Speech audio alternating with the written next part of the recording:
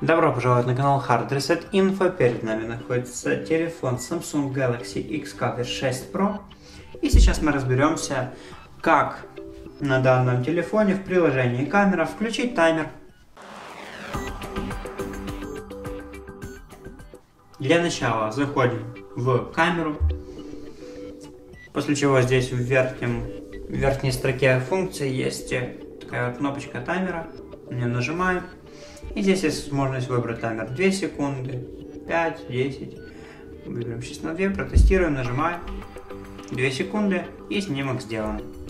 Здесь можем увидеть наш снимок. И на этом все. Спасибо за просмотр, подписывайтесь на наш канал и ставьте лайки. До скорых встреч!